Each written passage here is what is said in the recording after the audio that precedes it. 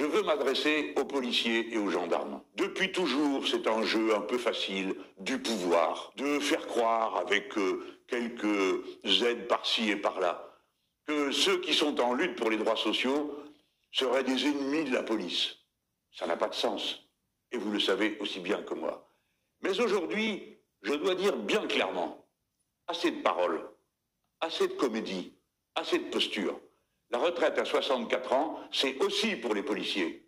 Par conséquent, la lutte contre la retraite à 64 ans, ça les concerne aussi. Et ils sont employés à persécuter de toutes les manières possibles des gens qui ne font que manifester et défendre des droits sociaux que nous avons en commun, y compris ceux des policiers. Et c'est vrai aussi pour les gendarmes. Policiers gendarmes, si vous croyez que le pouvoir qui vous caresse la tête vous protégera, vous vous trompez. Voyez déjà comment ils ont méprisé les gendarmes en disant que c'est parce qu'ils n'avaient rien compris qu'ils avaient confisqué les casseroles des manifestants, faisant en sorte que l'on prenne pour des demeurés les gendarmes.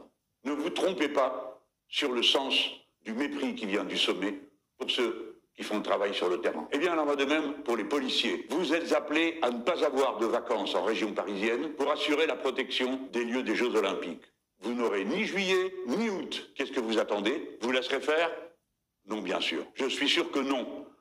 Et que vous saurez tourner la page de controverses qui n'ont pas de sens entre la principale force d'opposition de gauche, qu'est le mouvement des insoumis, et vos propres intérêts. Votre intérêt, c'est d'entrer dans la lutte.